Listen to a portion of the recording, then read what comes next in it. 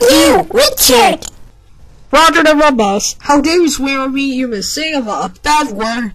Concu- that's it. Concussion time. No! that was too bad. Concussion time.